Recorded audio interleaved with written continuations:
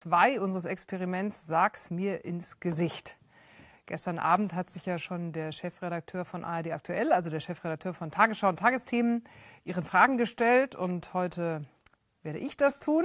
Es ist ja ein kleines Experiment. Die, das Social Media Team von Tagesschau.de hat festgestellt, dass die Verruhung im Netz doch sehr zugenommen hat und dass die Kommentare ähm, teilweise einfach auch übel sind und Menschen schon mit viel Hass überschüttet werden und Beleidigungen. Und ich habe das auch schon viel erfahren und wir haben uns gefragt, ob das eigentlich mh, hm, zielführend ist, wenn man sich immer nur gegenseitig gemeine Sachen an den Kopf wirft und haben uns gefragt, ob man eigentlich, wenn man direkt miteinander diskutiert, auch so übel miteinander umgeht oder ob man dann vielleicht zu einer besseren Diskussionskultur kommt. Ich selber arbeite ja nicht für die Tagesschau, sondern ich, vielleicht kennen Sie mich von Panorama oder von ZAP. Ab und an mache ich einen Kommentar in den Tagesthemen, wie viele andere Journalisten der ARD auch. Und darauf hagelt es natürlich oft viele Kommentare, darunter sind ganz viele wirklich reizende und nette, aber eben auch oft welche, die ganz schön beleidigend sind. Und wir haben uns immer gefragt, ja, hm, wer ist denn das? Weil es ist so ein bisschen komisch, wenn man jetzt hm, selber im Fernsehen ist, dann kennen Sie ja mein Gesicht und Sie wissen, wer ich bin. Und dann beleidigt mich jemand, aber ich weiß ja nicht, wer derjenige ist. Das heißt, wenn man sich jetzt auf der Straße treffen würde, dann ähm, wüssten sie, ah, das ist die, deren Meinung ich nicht teile oder die, die ich blöd finde, aber ich weiß das nicht. Und das ist auch ein bisschen feige. Deswegen haben wir uns gefragt, trauen Sie sich heute auch direkt hier anzurufen, über Video, über Skype und auch Ihr Gesicht zu zeigen und zu sagen, was Sie stört. Wenn Sie das tun wollen, dann tun Sie das gerne. Da sag's mir ins Gesicht, at tagesschau.de, sag's mir ins Gesicht, immer mit Bindestrichen dazwischen. Und ähm, ja, mal sehen, was sich heute so tut. Wie ich gehört habe, haben wir auch bereits einen Kollegen, einen Skyper. Hallo, schönen guten Abend. Sagen Sie mir Ihren Namen. Ja, mein Name ist Andreas Bratbock. Ich komme aus Köln. Hallo. Ähm, grüße Sie. Und? ja, erstmal sonnige Grüße aus Köln. Und ähm, ich muss Ihnen gleich zu Anfang sagen, ähm, ich äh, hasse Sie garantiert nicht. Ähm, ganz im Gegenteil, ich wertschätze Ihre Arbeit als Journalistin.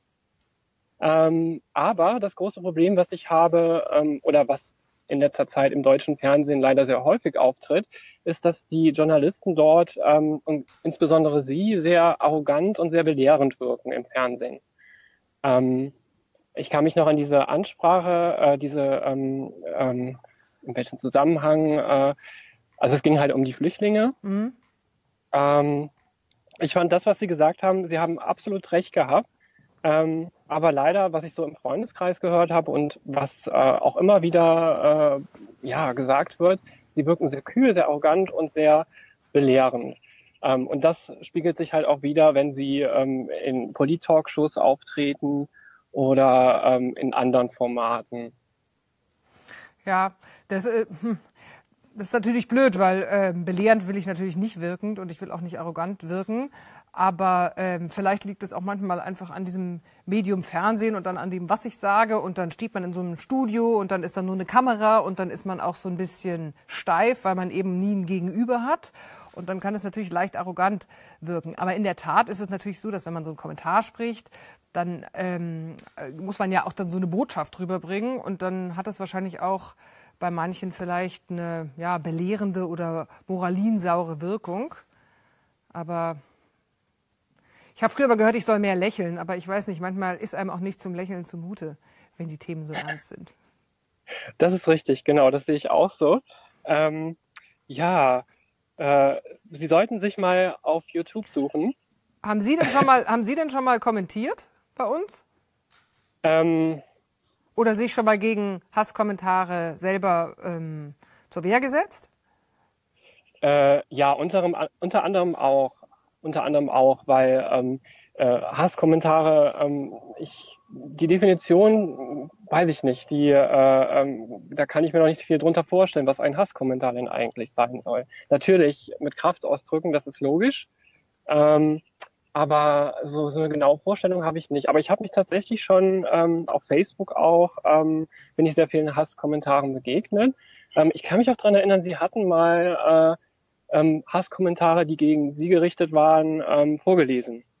Ja, Ähm, naja, die gehen von bis, ne? Also da ist genau, man, ja. keine Ahnung, es ist ja immer völlig in Ordnung, wenn Menschen eine andere Meinung haben und einem die auch mitteilen. Das finde ich ja sogar spannend und gut. Nur in dem Moment, mhm. wo Kommentare eben so werben, dass ähm, Leute dann nur noch schreiben, du Schlampe, du hast vergewaltigt, ermordet, äh, ja. gejagt, verlass das Land, weiß mhm. ich nicht, dann ist es natürlich nicht besonders angenehm. Genau, da stimme ich Ihnen auch vollkommen zu. Und das, was da vorgelesen wurde, das geht auch absolut gar nicht. Und das verstehe ich auch unter einem Hasskommentar. Aber jetzt gibt es ja auch so viele, ähm, äh, ich sag mal, ähm, Gruppierungen, die sich gegen Hass, ähm, also Hate Speech halt auflehnen, wie ähm, Ich bin hier von Facebook. Und ähm, da sehe ich das Problem, äh, ähm, dass da gar nicht mehr so wirklich differenziert wird äh, zwischen einem Hasskommentar und einfach einer freien Meinung. Naja, ich stelle zum Beispiel fest, wenn ich jetzt hier mal gucke, ähm, was so gekommen ist, es ist immer interessant, das ist ja genau die Frage, die wir uns heute stellen. Bei Sag's mir ins Gesicht hat hier zum Beispiel jemand geschrieben, die Lügenbaronin ist online, das schreibt er aber nur und ruft eben nicht an. Oder Frau Reschke, die spaltet und hetzt wie keine zweite. So, ja, trauen Sie sich doch und rufen Sie doch mal an. Ich danke ich sehe Ihnen. das genauso. Ja. Ich danke Ihnen. Danke. Ja, danke schön, Gut. Frau Reschke. Tschüss. Tschüss. Wir haben jemanden neuen. Mal sehen, ob derjenige sich traut. Hallo? Guten Tag. Guten Tag. Um, Verraten Sie mir Ihren Namen? Äh, Daniel Kottmeier. Hallo? Und äh, ich glaube, also wie gesagt, ich bin äh, wirklich jemand, der nicht hinterm Zaun hält und ich halte sie teilweise für ganz schön heuchlerisch. heuchlerisch. Ich glaube, sie meinen es richtig, aber ähm, ja, nur Aber heuchler, heuchlerisch, wieso, inwiefern? Zum Beispiel hier. Äh, deswegen rufe ich eigentlich an. Ich habe äh, vor 2015, Anfang 2015 dieses Plakat gemacht und habe das ins Internet gestellt und es wurde geteilt ohne Ende. Ja. Ähm, und es ging darum, dass ich der Meinung war, dass die Ursachen, die Fluchtursachen viel zu wenig angesprochen wurden. Und deswegen habe ich hier ausformuliert, warum meiner Meinung nach diese drei Politiker wegen Heuchelei gesucht werden sollten. Und hier ganz unten steht, die Flüchtlinge sind nicht das Problem. Ja. Jetzt gab es Anfang Oktober, äh, haben sie einen Beitrag gesendet, der hieß, ah. besorgte Bürger radikalisieren sich. Und wie Sie hier sehen, ist hier mein Plakat. Ja. Äh, jetzt hat jemand auf der Demo dieses Plakat ausgedruckt und inklusive dem unteren Teil dort mitgenommen. Aber ihre Redaktion hat das Originalbild im Netz hergesucht und hat nur den oberen Teil zitiert.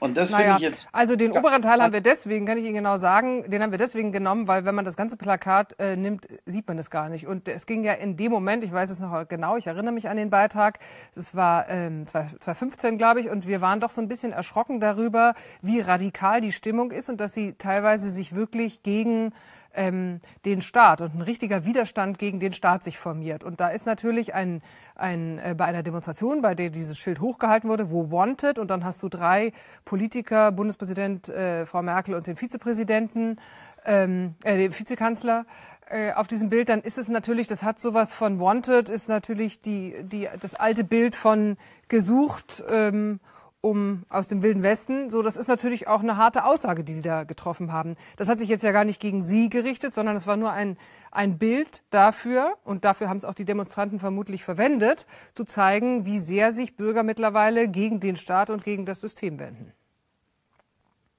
Aber die Demonstranten haben den unteren Teil nicht weggeschnitten. Das war dann doch die Panorama-Redaktion und zwar ihr Grafiker. Also insofern. Aber wie gesagt, ich habe ja schon gesagt, wir haben den unteren Teil, wir haben es nur nah rangefahren. Wir haben es nicht weggeschnitten. Das klingt ja so, als hätten wir es absichtlich manipuliert, weil für uns ging es ja um das Wanted.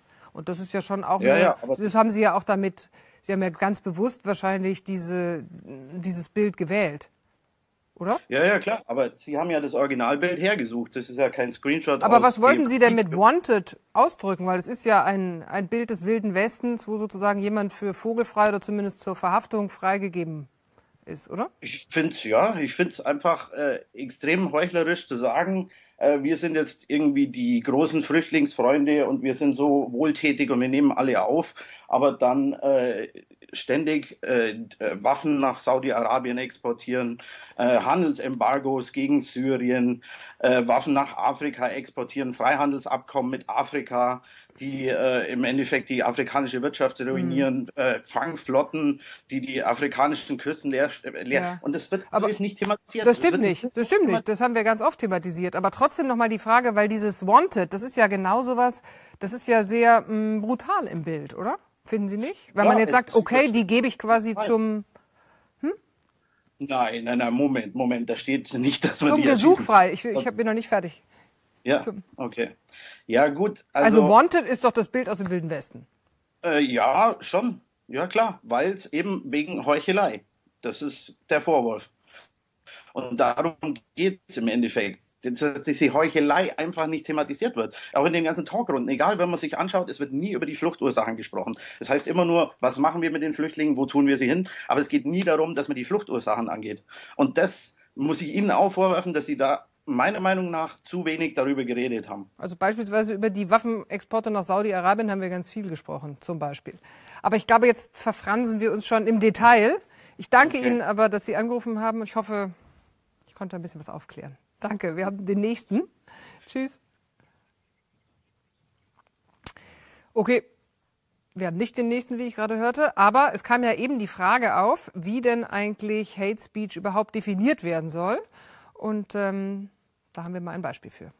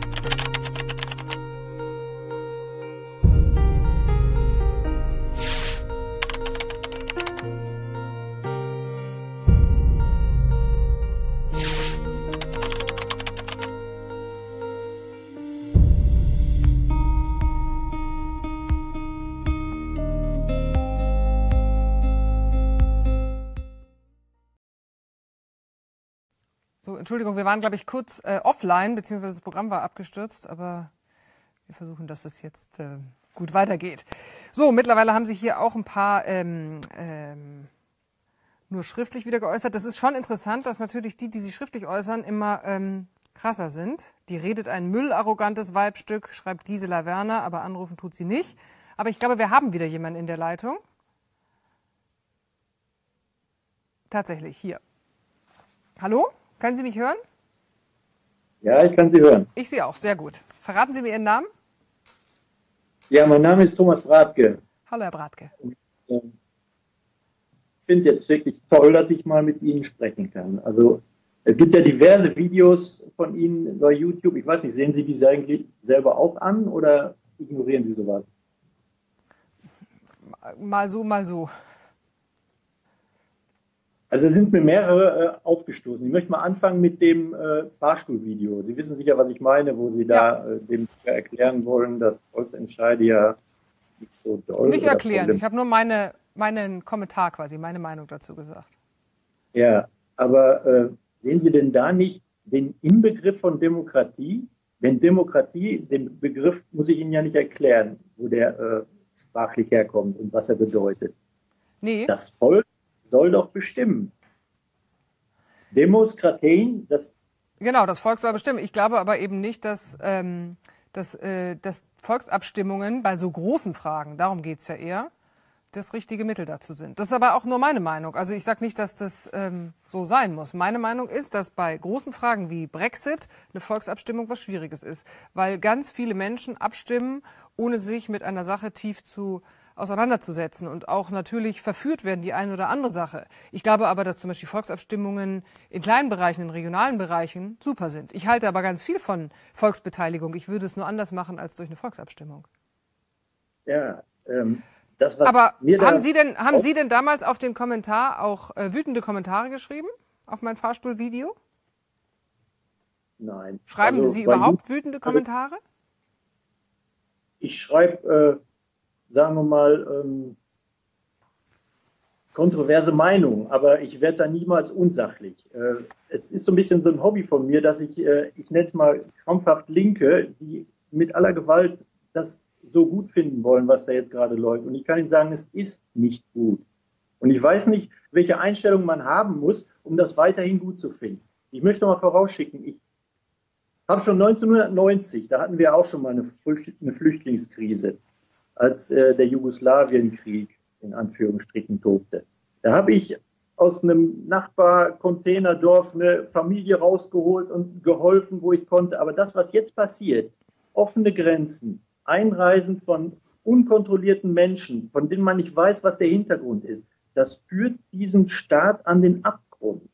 Und da gibt es auch keine zwei Meinungen. Das ist eine ganz logische Sache. Es gibt zwei Meinungen.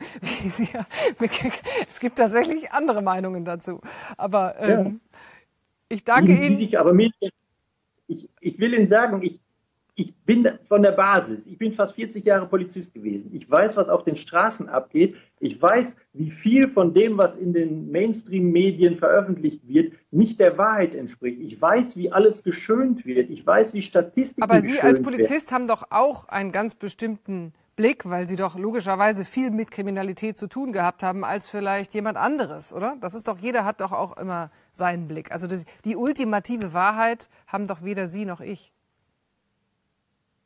Was wollen Sie denn damit sagen? Die ultimative Wahrheit ist, dass wenn man nur die blanken Zahlen nimmt, es gibt ja da widersprüchliche Angaben. Die äh, Regierung hat veröffentlicht 890.000, das stimmt hundertprozentig nicht. Ich schätze mal, das ist eine Zahl von 1,5 bis 2 Millionen. Aber wenn man nur von einer Million ausgeht. Ja gut, aber wenn Sie natürlich keine Zahlen glauben, dann ist es ja sehr schwierig, ne? Nein, ich möchte das nur an einem Beispiel veranschaulichen. Es gab ja auch dieses berühmte Video von Justizminister Maas, wie er sagte, das war dann, ich glaube 2015 noch, es gibt keinen einzigen Hinweis darauf, dass Flüchtlinge irgendwie terroristische Tätigkeiten hier bei uns verüben. Und da wusste ich nur, 2015 wusste ich schon, dass es richtig knallen wird. Weil wenn man die Zahlen runterrechnet, nur, nur ein Prozent ein Prozent von diesen Terroristen, es können auch 0,1 Prozent sein, dann sind ja. es immer noch 1000, die gewaltbereit und sich eine Sprengstoffweste anziehen würden. Und diese Gefahr ist einfach nicht mehr zu handeln. Selbst wenn jetzt ein radikaler Politikwechsel erfolgen würde. Man könnte das nicht mehr gerade rücken. Das würde Jahrzehnte dauern. Ich glaube, darüber könnten wir beide jetzt trefflich wahrscheinlich zwei Stunden diskutieren. Aber ähm, wenn es in Ordnung wäre, in Ordnung wäre, würde ich das jetzt gerne an dieser Stelle beenden, weil wir jetzt in so eine tiefe politische Debatte reingeraten und ich noch ganz viele weitere Anrufe habe. Aber ich danke Ihnen auf jeden Fall, dass Sie angerufen haben und ich habe das befürchtet, dass ich so äh, im ja, Ansatz. Naja, da kommen wir jetzt, wir, da kommen wir jetzt natürlich von Hölzchen auf Stöckchen und verfransen uns wahrscheinlich. Aber trotzdem vielen Dank.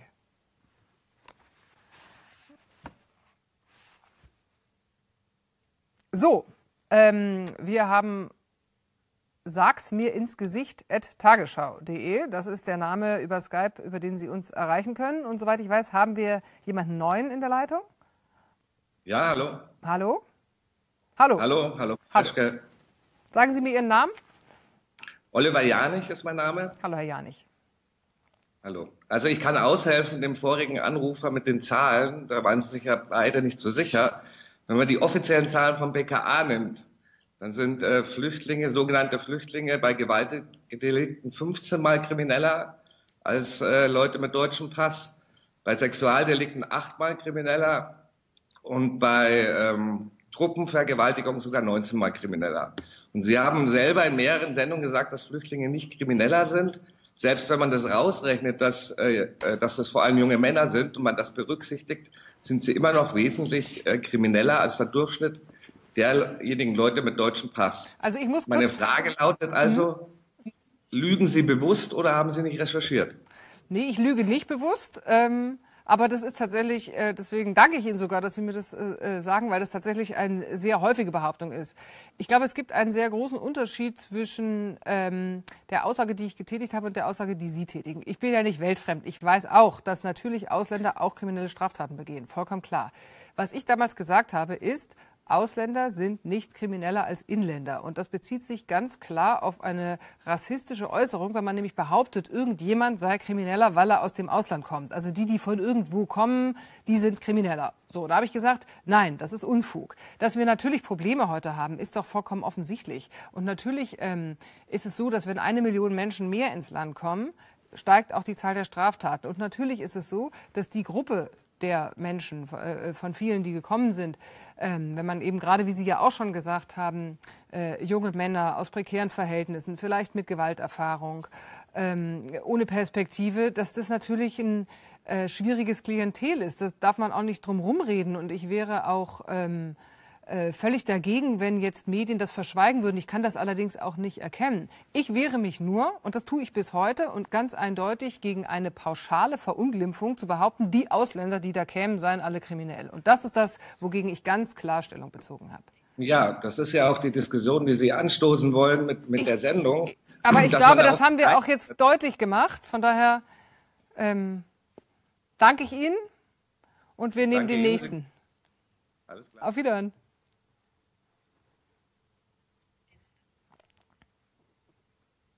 Hallo? Eine Frau, das ist doch mal schön. Und eine freundliche. Und eine freundliche.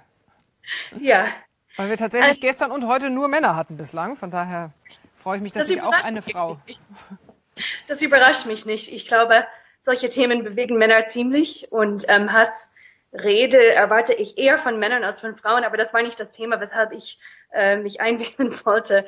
Ich bin US-Amerikanerin, äh, seit 18 Jahren in Deutschland und habe ganz viel Hassrede in Amerika erleben müssen, also aus der Ferne, und wollte schon immer ähm, auf den Grund kommen, weshalb diese Hassrede, was ist der Grund oder was, was liegt drunter?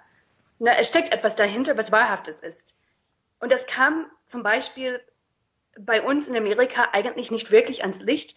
Die Hassrede hatte sozusagen ähm, eher diese Salienz, also Salience, äh, und die wahre Beweggründe, die Ängste und die Sorgen eigentlich, die, die zugrunde liegen, und ich bin Psychologin, ne, ähm, das kam nicht wirklich ans Licht. Und unter Hass steckt immer eigentlich Angst. Wie können wir es vermeiden oder wie können Sie es vermeiden? Also das ist aber kein Vorwurf. Wie können die Medien im Allgemeinen vermeiden? Ähm, dass Hassrede sozusagen einfach nur Schlagzeilen erzeugt, Aufmerksam erzeugt, Aufmerksamkeit erzeugt ähm, Hassredner verstärkt dadurch, ähm, aber eigentlich die Beweggründe, die sie haben, die auch sehr wichtig sind, äh, nicht besprochen werden und auch nicht ernst genommen werden. Ich danke Ihnen, danke. Für, ich danke Ihnen für diesen Beitrag. Ähm, ja, also das haben wir uns ja schon äh, viel auch gefragt und auch bemüht irgendwie immer. Wir haben auch diverse Reportagen gemacht, auch bei Panorama und haben ähm, äh, Menschen auch befragt und sie einfach sprechen lassen, um auch so ein bisschen rauszuarbeiten. Das haben ja auch viele andere ge gemacht im Gespräch mit Pegida, mit AfD-Leuten. Ähm, was ist denn eigentlich das wirkliche Problem? Und ich glaube auch, das ist ja auch vielleicht heute der Versuch, dass der Dialog und das Miteinanderreden dann wahrscheinlich das ist, was uns auch gesamtgesellschaftlich dann am meisten da zusammenbringt. Vielen Dank Ihnen. Danke. So, und schon der nächste. Hallo. Hallo? Ah, hallo. Hi. Hi. Verrätst du mir, Sie mir Ihren Namen? Ja, ich bin Matti, äh, bin 20, komme aus Berlin. Hallo Matti. Hi. Also ähm, ich wollte äußern, dass ich unzufrieden bin mit der politischen Berichterstattung. Mhm. Und zwar, weil sie ähm, emotionalisiert wird und kaum noch über Inhalte gesprochen wird. Und man einfach mit, mit sehr platten Methoden arbeitet. Es wird irgendwie dämonisiert und dann wird, wird auf der einen Seite andere gut gesprochen so und mir bleibt da einfach die, mir bleiben da die Inhalte auf der Strecke. Und ich habe so ein bisschen das Gefühl, dass die Berichterstattung sich so in so einer Blase ähm, bewegt. Ich glaube, das ist ein, ein ganz logisches Phänomen auch. Aber ähm, mir ist es halt in den letzten Monaten extrem aufgefallen. Und dann auch dazu noch immer die gleichen Personen, die dann auch befragt werden. Und das ist einfach für mich keine, keine richtig gute Berichterstattung. Auch und wenn macht Sie das so wütend, dass Sie manchmal auch wütende Kommentare schreiben? Nein, das nicht. Also ich gebe halt sozusagen, also meine, also ich, ich bleib sachlich und halt auch sozusagen bringt halt gute Inhalte rüber. Das steht für mich im Vordergrund. Auch diese ganze Hass. Also ich meine, im Internet sammelt sich so viel. Ich denke, es ist ja, ich, ich weiß nicht, ich denke, das ist eher nebensächlich. Ich glaube, dass ähm, ähm, politische Berichterstattung auch immer in Wellen geht. Und äh, jetzt gerade sind wir natürlich im Wahlkampf. Da ist äh, auch sowieso der Wahlkampf sowieso schon emotionalisiert. Und mhm. es hängt, glaube ich, glaube, es ist immer sehr schwer zu urteilen über die Medien. Ich finde, man kann, also ich gebe Ihnen recht, ich kann so Sachen finden in der politischen Berichterstattung, wo ich sage, ja, das ist, da geht es vor allem um wer, wie, was und äh, äh, sozusagen die ganzen Emotionen. Aber wenn ich mich informieren will, kann ich schon auch andere Sachen finden. Also ähm, ich glaube, es gibt so, so alles, wäre mein Gefühl. Aber ich würde noch mal einmal fragen, wenn Sie aber im Internet sind und ähm, Hasskommentare lesen, machen Sie dann hm. irgendwas dagegen? Nee, Weil heute ist ja unser Thema so ein bisschen Hate Speech ja, und ja, aber es ist ja auch eine Plattform, um, um Ihnen das mitzuteilen. Sie sind ja auch in Politik ähm, orientiert. Ja. Ähm, Hasskommentare, ich halte mich da nicht so sehr dran auf, muss ich sagen. Ich kann es, mich trifft es nicht persönlich. Ähm, und ich kann es verstehen, dass er das auch auffühlt, aber ich, ähm, ich halte mich da persönlich nicht lange auf, sondern ich versuche irgendwie progressiv zu sein und auch meinen, meinen inhaltlichen Teil dazu beizutragen, zu einer guten ähm, Kultur in der Debatte so. Und wenn Sie merken, dass jemand anderes irgendwie, dass irgendwie der Hass im Netz ist, versuchen Sie denn dann nicht dagegen vorzugehen? Habe ich bislang noch nicht getan. Aber wenn Sie das stört? Ich, ich, ich habe gesagt, also wie gesagt, es, es, ich schenke dem nicht so viel Aufmerksamkeit, weil es mir halt eher um Inhalte geht und um eine Debatte, die auch wirklich zielorientiert ist und mit den Menschen ähm, mich auseinanderzusetzen, die auch wirklich was dazu beizutragen haben, weil ich meine, das ist echt, ist für mich echt nicht wichtig, Leute, die meckern und Leute, die einfach nur sozusagen beleidigen, das ist für mich, das ist für mich nicht wahrzunehmen, weil es halt, weil es nicht voranbringt. Alles klar. Ich glaube, da sind wir dann auf einer Linie, weil das ist ja auch das, was wir heute versuchen. Vielen Dank für Ihren Anruf. Ja, viel Erfolg. Tschüss. Ciao. Ja, das ist natürlich interessant, dass ähm, man jetzt so über Skype ähm, eher sich gut unterhalten kann. Aber ähm, so im Netz eben dann schon. Hier die Königin Bronko Kowalski schreibt, die Königin der Arroganz und Überheblichkeit trifft auf den Pöbel, der es wagt, ihre Arbeit zu kritisieren. Tja, aber anrufen trauen sie sich nicht, mich anzurufen und mir das zu sagen. Komisch hat schon einer Reschke eine Vergewaltigung gewünscht. Alle wieder keine Eier ohne Troll-Account.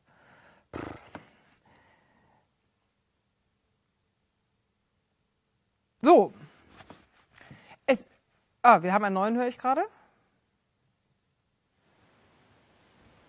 Hallo. Hallo, Frau Reschke. Robin ha Klassen, mein Name. Hallo.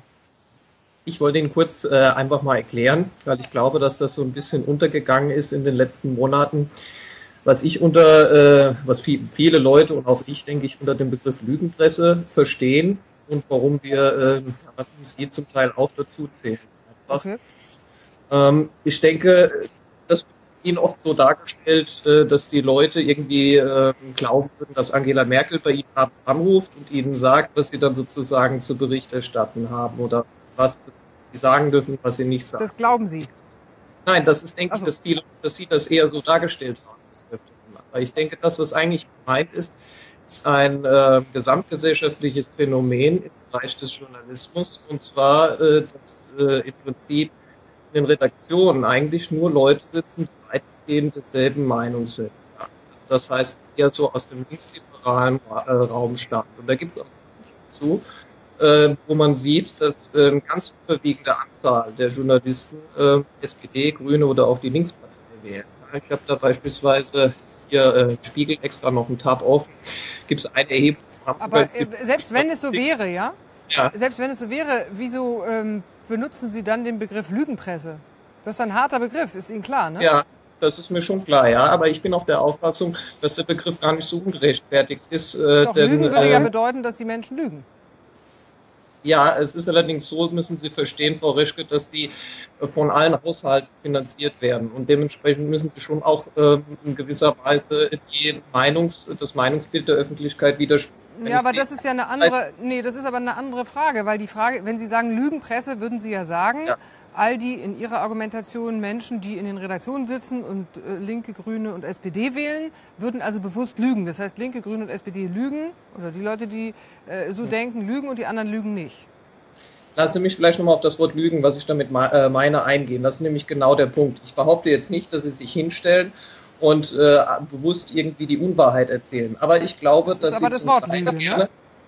warten Sie, warten Sie mal kurz. Ich denke, dass sie zum Teil tatsächlich äh, Fakten und äh, bestimmte Umstände verschweigen und nicht darüber Bericht erstatten, äh, weil sie einfach, äh, weil sie einfach bestimmte Dinge nicht in der Öffentlichkeit diskutiert haben. Das ist einfach ein Problem, wenn man so ein einseitiges Meinungsbild über den Journalisten hat, äh, dass Rot-Rot-Grün da sozusagen auf eine Zweidrittelmehrheit käme. Wie gesagt, nach dieser Studie 35,5 Prozent der Journalisten würden die Grünen wählen. Und äh, wenn dann jeder Haushalt das per Abgabe mitfinanziert über den Rundfunkbeitrag, ähm, dann äh, funktioniert das so. Und ich kenne Sie denn einen einzigen Journalisten in Ihrer Redaktion jetzt oder bei der ARD, der sich selbst politisch als rechts bezeichnet? Ein einzigen. Als rechts? Ja. Was bezeichnen Sie denn als rechts? Ja, Sie sind doch diejenige, die immer gerne mit Begriffen Rassismus, Hate Speech, Hass äh, um sich wirft. Und daher sollten Sie vielleicht also auch mal. Wir haben beschäftigt, das kann ich sicher sagen, niemanden, der rassistisch ist und jemand, der rechts ist? Oder was ist, ist rechts? denn rechts? Genau, ich weiß gar nicht, was Sie meinen jetzt mit rechts. Also alles, was nicht SPD, Grüne und links ist? Also wäre CDU schon rechts? Ja. Ähm, früher war das mal so, das traut die, die Partei sich nicht mehr, sich so zu bezeichnen, weil das ja ein Totschlagbegriff geworden ist. Aber wenn Sie wollen, dass ich es definiere, dann definiere ich rechts als patriotisch, national orientiert, überfremdungskritisch, EU-kritisch. Auch so ein Punkt, Sie verwenden beispielsweise den Propagandabegriff Europa und äh, für, für die Europäische Union. Wenn Sie über die Europäische Union sprechen, dann reden Sie über Europa. Dann sagen Sie, die sind Europa-skeptisch oder die sind Europa-kritisch. Ich liebe Europa. Europa ist ein wunderbarer Kontinent und ich liebe auch die europäische Vielfalt. Aber gleichzeitig gerade deshalb bin ich beispielsweise gegen die Europäische Union. Das wäre zum Beispiel jetzt mal eine, eine, konkrete Anregung für Sie, dass Sie in Zukunft vielleicht noch ein bisschen stärker bei dieser Wortwahl einfach nur differenzieren könnten. Europäische Union und Europa, dass man das nicht immer so deckungsgleich verwendet. Denn ich denke, das ist was, was ich auch im eigenen Bekanntenkreis immer wieder höre, was halt wirklich kritisiert wird, weil das ein bisschen halt propagandamäßig wird. Ja, ich glaube, das ist ähm, auch ebenfalls ein weites Feld. Ähm, was, was Sie sagen, ist äh, tatsächlich ähm, schwierig. Schwierig ähm, äh, in der Berichterstattung so darzustellen. Also, äh, was sagten Sie, vaterlandsliebend und nationalistisch und Fremden? Ja, sehen Sie, nationalistisch ähm, habe ich auch nicht gesagt. Da geht's schon los. Nein, ich habe versucht, ich habe mir das jetzt nicht wörtlich mitgeschrieben. Ja. Nationalliebend, ja. ich habe es jetzt nicht nationalstaatenliebend oder wie Sie es auch ausgedrückt haben. Ähm, und fremdenkritisch. Ich glaube, dass sich die meisten Journalisten doch auf dem Boden des Grundgesetzes befinden würden. Und das, glaube ich, ist, das ist, glaube ich, die Karte, die für alle gilt. Hm ich fände es schön, ich finde es ja toll, dass sie, äh, dass sie mutig sind und sich hier auch so eine Aktion stellen. Ich fände es nur gut, wenn es das, äh, wenn es im Programm irgendwo irgendwie, sage ich mal, auch äh, ein bisschen ein journalistisches Gegengewicht zu diesem linksliberalen Mainstream geben würde. Ich habe auf tagesschau.de und ich lese gerne tagesschau.de. Ich übrigens auch jemand, der gerne öffentlich-rechtliche Rundfunkangebote konsumiert. Aber ich würde mich so freuen, wenn es einfach auf tagesschau.de einfach mal einen Kommentator gäbe. Da werden ja auch Kommentare veröffentlicht. Das sind ja Meinungsbeiträge, der vielleicht einfach mal nicht aus dieser linksgrünen Ecke kommt. Ich habe wirklich, ich lese seit sechs, sieben Jahren tagesschau.de praktisch täglich. Ich habe noch kein einziges Mal erlebt, dass ein Kommentar von einem Journalisten äh, jetzt äh, meine, meine Meinung irgendwie gespiegelt hätte. Und ich bin ja jetzt nicht ganz allein. Gerade seit äh, zwei, drei Jahren gibt es ja viele Menschen, die so denken. Alles klar. Ich okay, danke Ihnen danke. für den Anruf und den Tschüss. Mut. Tschüss. So, wir haben einen neuen User, wie ich gehört habe. Hallo. Ja, hören Sie mich? Ja, ich höre Sie gut. Sie haben ja professionelles Mikro da. Ja, auch wenn ich jetzt. Ach, egal. Jedenfalls, äh, ich rufe an wegen Funk. Kennen Sie Funk? Ja. Ja, Sie meinen, das, für alle, die es nicht wissen. Aber das ist das Internetangebot. Ja, von ja, das weiß ich. Aber hat das jetzt was mit Hate zu tun? Weil wir ja so ein bisschen irgendwie ja. heute schon darüber sprechen. Und zwar werde ich von, von diesen Leuten äh, als, als einer ihrer größten Hater bezeichnet und die wollten mich auch zu einem Gespräch einladen, was dann letztendlich leider nicht funktioniert hat.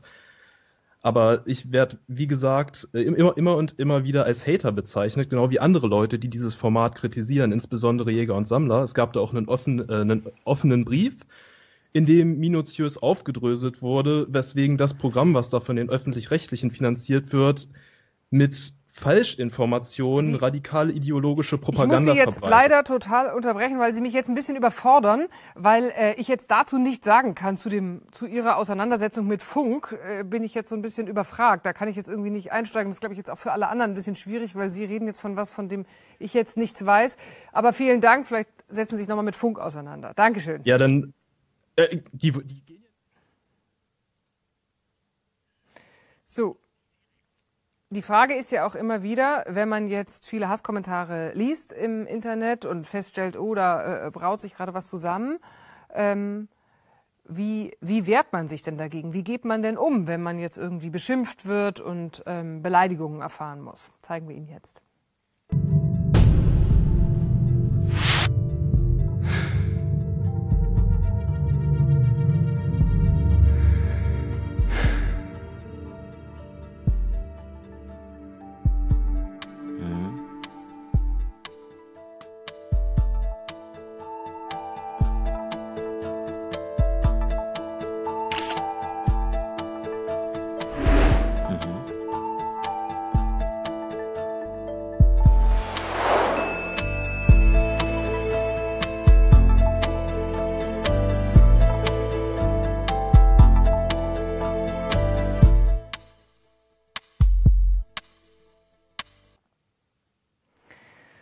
Jetzt sind mittlerweile auch wieder ähm, Kommentare eingetroffen. Hier die Eva Braun vom BRD Propagandaministerium. Ich hatte ja in meinem äh, Kommentar, den wir sozusagen vor diesem, vor dieser Aktion gesetzt haben, gesagt, dass ich mich ein bisschen bedrückt, diese permanenten Nazi-Vergleiche und diese, dieses locker flockige Vergleiche mit der Zeit des Nationalsozialismus, wo ich mich immer frage, ob die Leute eigentlich wissen, was sich damals abgespielt hat und ob die Leute eigentlich eine Ahnung davon haben, was es bedeutet, wenn man diese Nazi-Vergleiche zieht. Also ähm, Eva Braun würde ich zum Beispiel schon als Beleidigung äh, bezeichnen. Und BAD-Propagandaministerium finde ich jetzt auch nicht gerade gelungen. Und ich frage mich immer, was, ähm, was wollt ihr damit bezwecken? Was soll da rauskommen? Was bringt das jetzt? Kann man sowas hinschreiben und dann kann man sich toll fühlen und dann kriegt man vielleicht drei Likes, aber die Diskussion weitergebracht hat das irgendwie auch nicht, oder? Von daher hatten wir heute versucht, bei Sag's mir ins Gesicht auch so ein bisschen in die Diskussion zu kommen.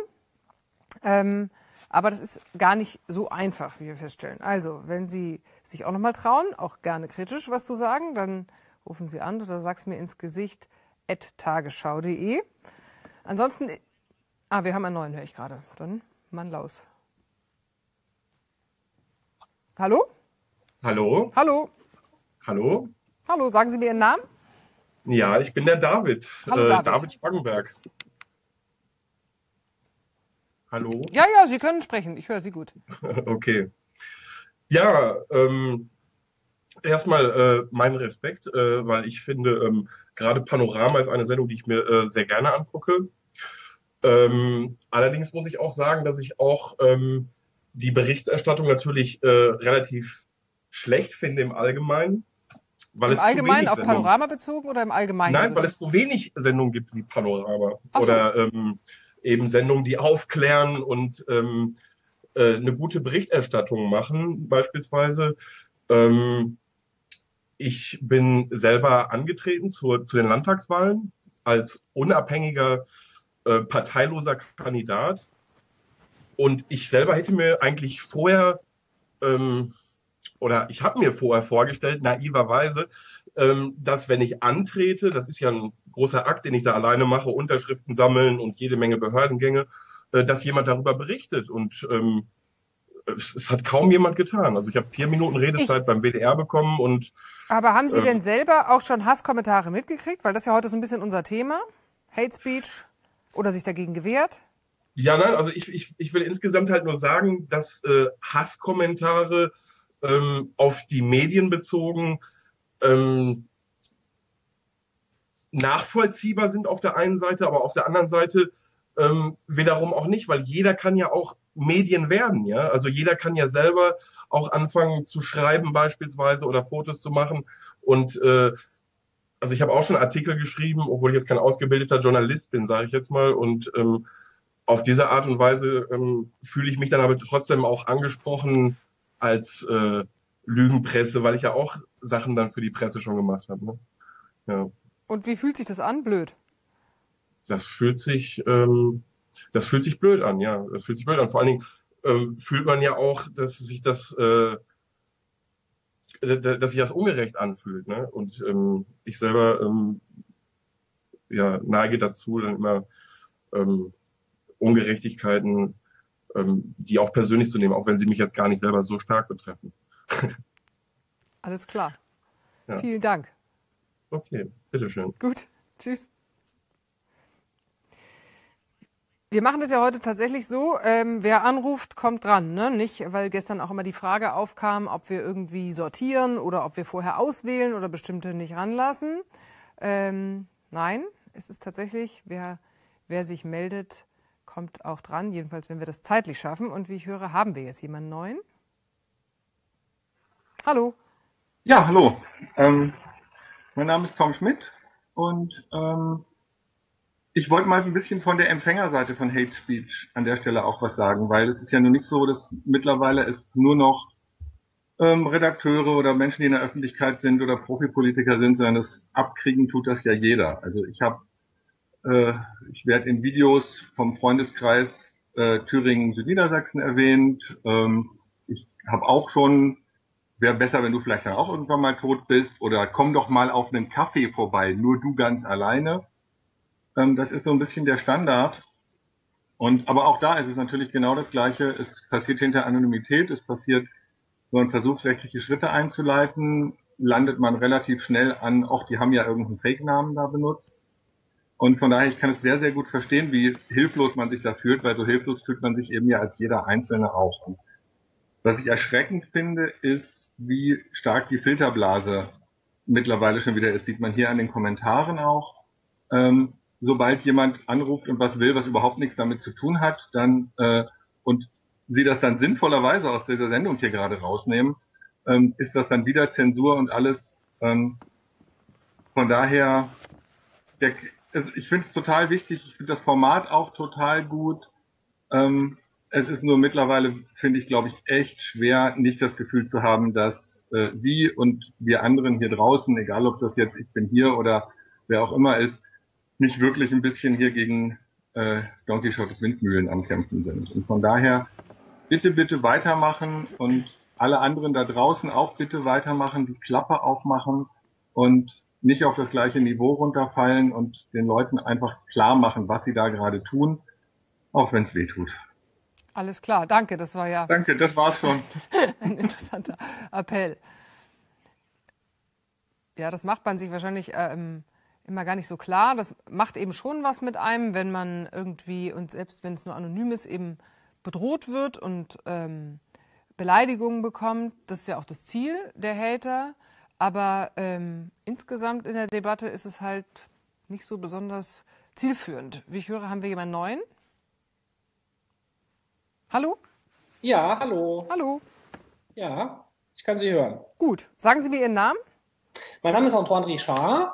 Äh, erstmal, Frau Reschke, ich finde es ganz toll, dass Sie diese Aktion machen. Auch wenn ich nicht gedacht hätte, dass es eigentlich die Aufgabe der Tagesschau ist, aber immerhin äh, besser, als wenn es niemand macht. Also äh, ich bin auf jeden Fall kein AfDler, äh, kein Nazi, äh, aber mich nervt da diese Nazi-Debatte richtig krass. Also ich kann das Wort Nazi schon gar nicht mehr hören, obwohl ich wie gesagt kein AfDler bin und auch nichts Schlimmeres. Äh, ich war selbst auf äh, einer Anne Frank Schule äh, da wurde ich schon als Schüler immer mit diesem Thema belästigt, kann man sagen. In jedem Schulfach kam das vor und dass diese Medien, Tagesschau und Co. Ähm, kommen mir schon sehr paternalistisch vor. Dieses Paternalistische ist das, was mich furchtbar aufregt. Wenn jemand von oben herab, äh, und das wirkt dann halt leider auch sehr eingebildet, äh, immer diese Nazi-Keule auspackt, und das wirkt auch vollkommen unrealistisch, so viel Nazis kann es eigentlich überhaupt nicht geben in Deutschland. Aber äh, woran äh, machen Sie das jetzt fest? Was meinen Sie da beispielsweise, wenn jemand die Nazi-Keule auspackt? Das ist eigentlich, dass man sofort, wenn jemand irgendwo etwas weiter rechts im Spektrum steht, sofort als rechter Nazi bezeichnet wird. Das zeigt jetzt Ihre Hate Speech-Kampagne ganz gut. Ich persönlich habe mir dieses kurze Video jetzt zweimal angeguckt, das Sie da äh, produziert haben. Und äh, da kommt dieser Satz vor, Migranten willkommen, äh, wenn sie sich an die Gesetze halten. Äh, was ist denn das für ein Quatsch? Äh, das kann man doch so sagen. Also ich finde, dieses Hate Speech hält die Leute davon ab, meinungsfrei sich zu äußern. Die kriegen Angst. Und in einem System, wo Angst herrscht und man denkt, hm, kann ich das schreiben, darf ich das schreiben oder werde ich dann verklagt, da kann auch gar keine gute Diskussion äh, mehr entstehen. Und gerade Leute, die wie Sie in der Öffentlichkeit stehen und ja auch von Steuergeldern irgendwo bezahlt werden, müssen auch einfach ein bisschen mehr. Von Gebühren, nicht von Steuergeldern. In, ja, indirekt ja schon. Ne? Weil der Zwangsbeitrag ist auch eine Art Steuer. Auch wenn das so nicht gesagt wird. Ne? Trotzdem Gebühren. Ja, in Ordnung. Aber ich finde halt, dass Leute wie Sie sowas einfach mehr aushalten äh, könnten. Und wenn gerade dann Leute aus der Öffentlichkeit äh, dann irgendwelche User verklagen, dann finde ich das so peinlich und so, ja, also ich, da komme ich gar nicht drauf klar, wenn ein Privatmann das macht, der gestalkt wird. Aber finden Sie jetzt, dass nur weil man in der Öffentlichkeit steht, also weil man jetzt, es ist ja auch eine Arbeit, die ich tue, ja, weil ich jetzt, ja. ich moderiere, ich bin Journalistin, ja, so ist es eine Arbeit wie, keine Ahnung, jede andere Arbeit auch. Finden Sie, dass ich deswegen aushalten muss, ähm, weil ich von Gebühren bezahlt werde, dass ich beschimpft und beleidigt werde und dann darf ich denjenigen nicht anzeigen? Das kann man so absolut nicht beantworten. Sie könnten es etwas mehr aushalten. Also wenn Personen in der Öffentlichkeit dann die kleinen Leute verklagen vor Gericht wegen irgendwelchen Posts, dann finde ich das eben ziemlich lächerlich. Na gut, aber was heißt die kleinen, mal, was heißt die kleinen Leute? Wenn, wenn mir jetzt jemand droht, wenn mir jemand droht, mich umzubringen oder mich zu vergewaltigen, dann oder persönlich angegangen und Angst haben müssten um ihr Leben, dann würde ich das verstehen und dann ist es auch in Ordnung, jemand zu verklagen. Aber einfach wegen dem Schimpfwort oder irgendeinem Nazi-Vergleich gleich zu sagen, da rufe ich jetzt meinen Anwalt an. Das aber, ist das, aber das passiert ja auch nicht. Also kann ich jetzt für mich behaupten zumindest. Ja, Claudia Roth und diese. Aber Claudia äh, Roth, jetzt sind sie jetzt wir Politiker sind nicht Journalisten und Politiker, nicht die, ja, also da, nein, natürlich nicht. Aber äh, sie stehen auch in einem Bereich der Öffentlichkeit der direkt oder indirekte Steuern finanziert wird. Und da wünsche ich mir einfach etwas mehr Demut, ja, von solchen Leuten. Ich persönlich äh, bin keine große Berühmtheit, aber wenn ich eine wäre, würde ich ganz sicherlich nicht. Und finden Sie dann, dass zum Beispiel Lehrer und Polizisten auch das alle aushalten müssen, weil die werden auch von Steuern bezahlt? Sie, Sie Beamte... das absolut. So hm? absolut kann man es nicht sagen. Ähm, das muss man im Einzelfall betrachten. Ein Polizist steht ja nicht so in der Öffentlichkeit wie Sie beispielsweise.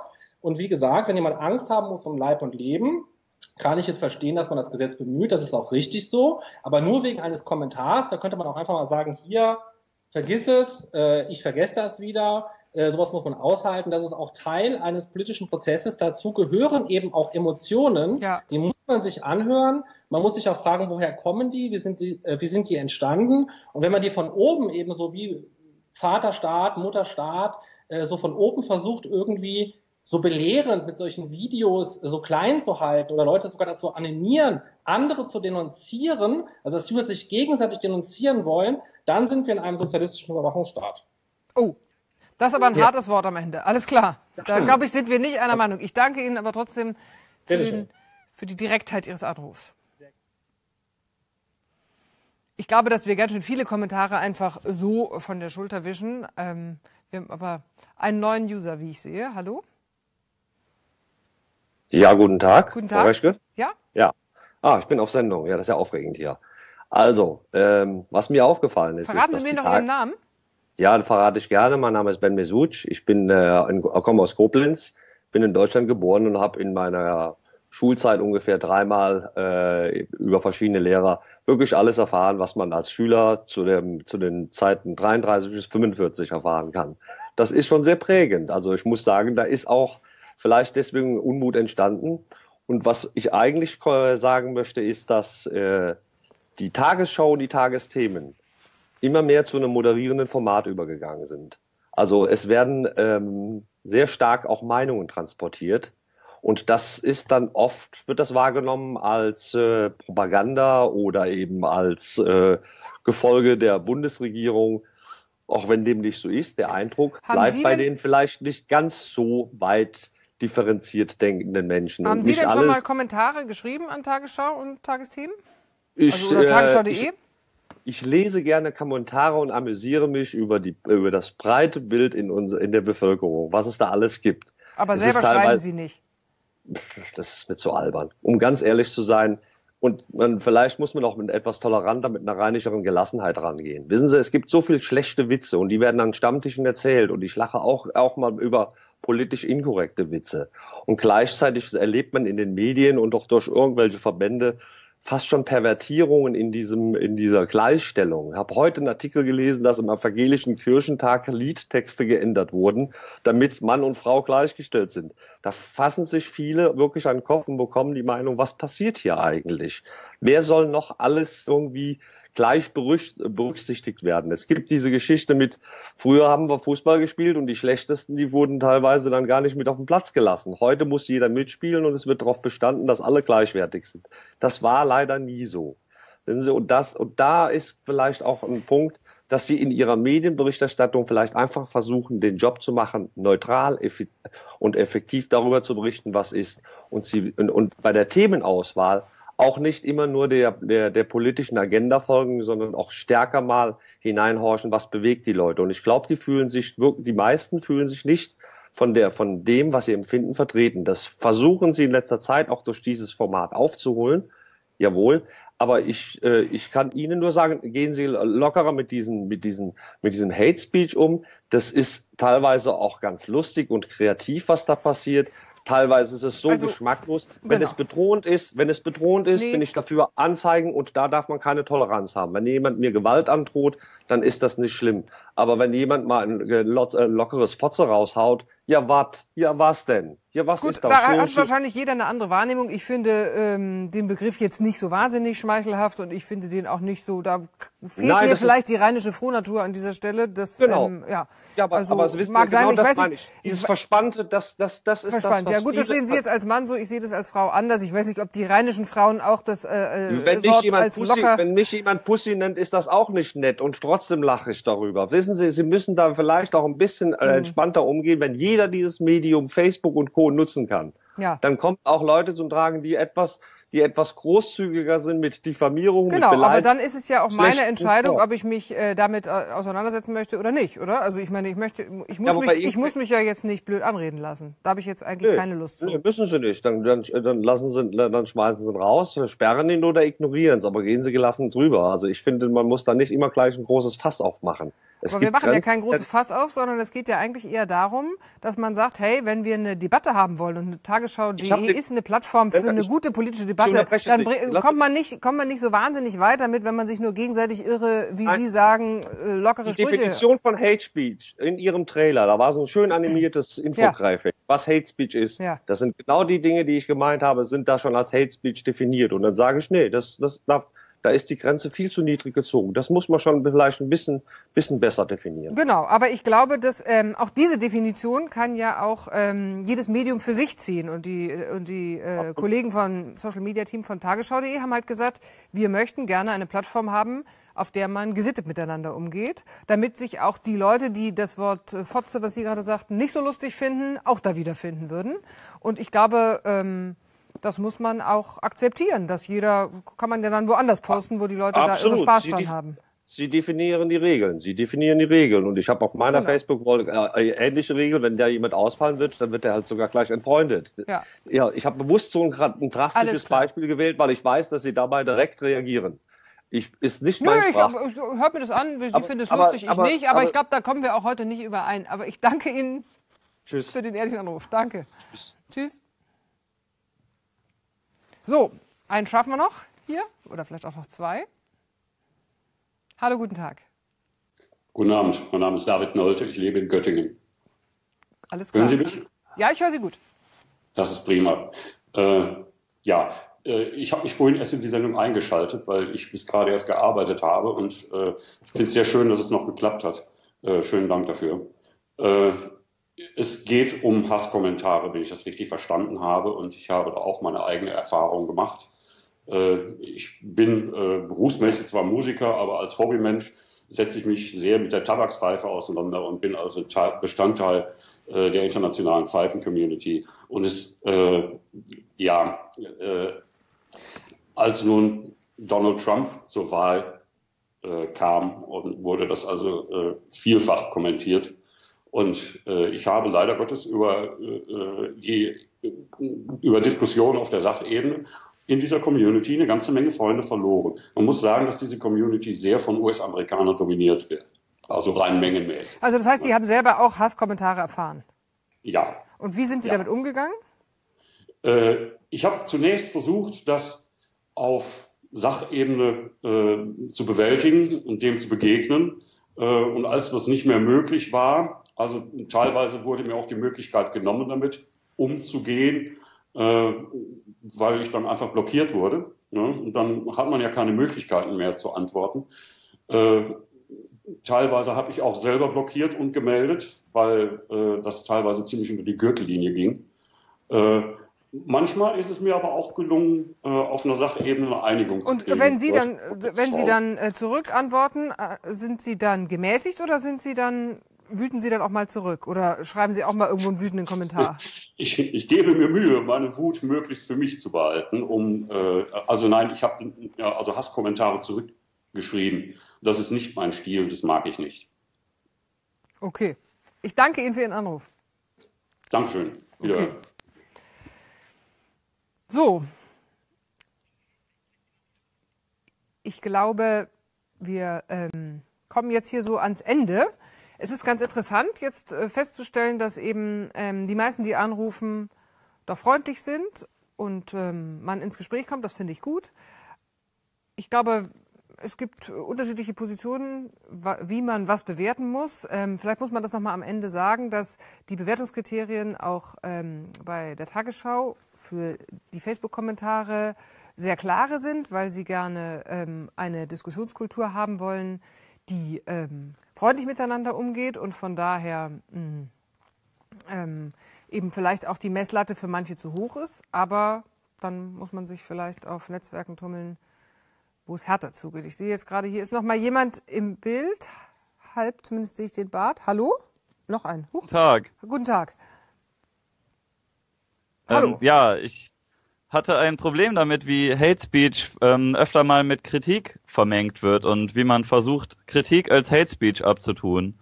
Ja, das hatten wir jetzt öfter. Ich glaube, ja. ähm, das ist falsch. Also Kritik und Hate Speech ist nicht das Gleiche. Und in der Tat, ähm, freie Meinungsäußerung ist immer richtig und möglich, solange sie nicht beleidigend, diffamierend, unterstellend, verhetzend und all diese Dinge wird. Äh, ähm, das meine ich ja nicht. Also wenn jetzt jemand irgendwie eine Morddrohung oder wirklich eine harte Beleidigung hat, dann ist das natürlich, ähm, äh, könnte man das als Hate Speech, Hate Speech bezeichnen. Ich hatte jetzt nur manchmal den Fall gesehen, ähm, bei öf ähm, öffentlich-rechtlichen Angeboten, dass da gesagt wurde, wir lesen jetzt ein paar Hasskommentare vor und dann wurden wirkliche Hasskommentare vorgelesen, wie ich hoffe, deine Familie stirbt und so weiter, was natürlich nicht okay ist und dazwischen wurde dann sachliche Kritik mit vorgelesen und das wurde so in einen Topf geworfen und äh, ich fand das auch halt nicht gut, wie darauf reagiert wurde teilweise dann. Ich weiß jetzt nicht genau, was Sie meinen. Also ich, ich weiß nicht, ich habe auch Sachen vorgelesen, das waren immer so Beleidigungssachen, aber es geht ja nicht nur bei Hate Speech finde ich nicht immer nur um Beleidigung, die einen als Person betrifft, sondern Hate Speech ist auch äh, be beleidigend oder diffamierend gegenüber äh, oder abwertend gegenüber anderen Gruppierungen einer Gesellschaft, würde ich manchmal auch ja, als ja, Hate das, Speech definieren. Das ist ja keine Frage. Ich habe ähm, ja. das Hate Speech, dass das äh, Rassismus und sowas, dass das nicht cool ist, das ist ja klar, aber es ging halt darum, dass oft gesagt wurde, Hate Speech ist ein großes Problem, Internet, Twitter, Facebook und sowas, da werden so böse Sachen gesagt. Und dass dann da teilweise auch gute Sachen gesagt wurden und dass ich das dann gesehen hatte, dass das von öffentlich-rechtlichen Angeboten teilweise gesagt wurde, ähm, das und das ist jetzt Hate Speech, wenn das gesagt wurde wie, ich sehe das nicht ein, Rundfunkbeiträge zu bezahlen für diese Sendung, weil ich die falsch finde. Und dann wurde direkt gesagt, ja, die Leute bei Facebook und bei Twitter, das ist ja alles Hate Speech. Okay. Danke. Mir wurde im Vorgespräch gesagt, ich soll nicht zu sehr auf Funk eingehen. Da ging es besonders drum, da werde ich rausgeschmissen. Aber ähm, nee, das, da würde ich Sie wirklich drum bitten, weil das jetzt echt ähm, hier auch für die anderen schwierig ist. Ich glaube, da müssen wir uns jetzt mit Funk auseinandersetzen, weil Funk, da können wir jetzt nichts zu sagen. Glaube, ja, das waren ja die öffentlich-rechtlichen Angebote, wo ich das am deutlichsten gesehen habe, weil die ja auch am engsten mit der Community im Internet vernetzt sind. Ja. Bei der Tagesschau lesen sie ja keine Twitter-Kommentare vor meistens. Nee, das stimmt. Okay, ich danke ja. Ihnen, ne? Okay, also wenn es zu Funk geht, dann soll ich ruhig ja. sein. Gut. Ja gut, tschüss. tschüss.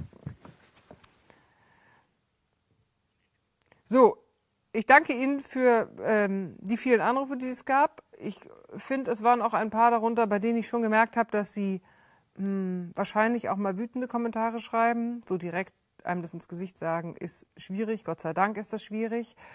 Ähm, ich glaube, man kann jetzt nur am Ende noch mal so appellieren daran. Ich finde es absolut in Ordnung, unterschiedlicher Meinung zu sein. Ich finde das bereichernd für die Diskussionskultur.